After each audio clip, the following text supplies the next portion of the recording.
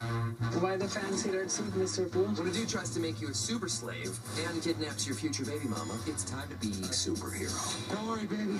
I'm coming. I've played a lot of roles. Damsel in distress ain't one of them.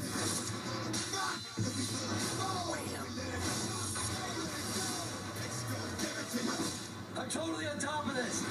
Deadpool. Look like an avocado had sex with an older avocado. Thank you.